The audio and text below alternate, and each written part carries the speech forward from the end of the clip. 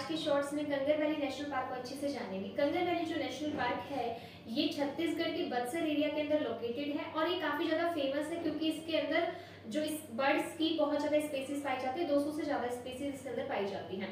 And इसका नाम जो है कंगर रिवर की वजह से पड़ा क्योंकि कंगर रिवर इससे होकर के निकलती है। And Kanger valley national park को नेशनल पार्क का दर्जा 1982 के अंदर दिया गया था और इसके अंदर जो छत्तीसगढ़ की स्टेट बर्ड है, जिसका नाम हिल मैना है, उसकी भी प्रजाति इसके अंदर पाई जाती है जो वैली नेशनल पार्क है, इसके पास में ही तीरथगढ़ वाटरफॉल भी लोकेटेड है।